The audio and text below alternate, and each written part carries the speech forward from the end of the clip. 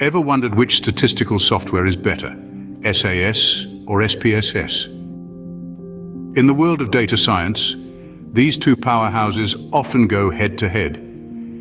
Each has its unique strengths and weaknesses, but which one comes out on top?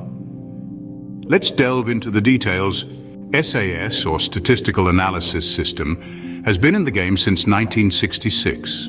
It's a robust, all-encompassing software suite designed for advanced analytics, business intelligence, data management, and predictive analytics.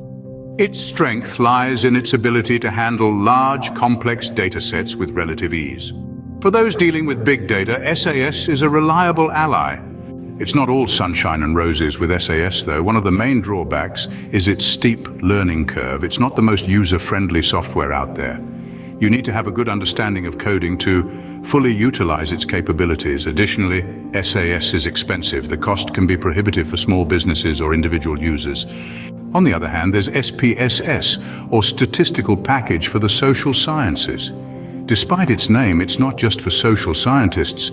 It's a versatile software that's widely used in market research, health research, data mining, and more.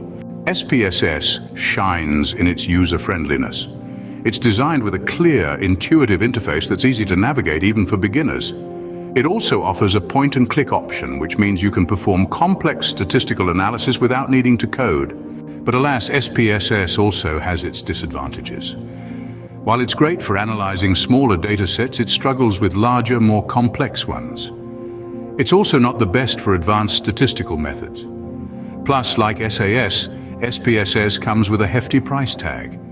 So in the SAS versus SPSS showdown, who takes the crown? Well, it depends on what you need. If you're dealing with big data and advanced analytics and you're not afraid of a little coding, SAS might be your best bet. But if you're a beginner or working with smaller datasets and you value ease of use over advanced functionalities, SPSS could be the way to go. In conclusion, both SAS and SPSS are powerful tools in their own right. They each have their pros and cons, and the best one for you largely depends on your specific needs and circumstances. So, the next time you're faced with the SAS versus SPSS dilemma, remember, it's not about which software is better overall, it's about which one is better for you.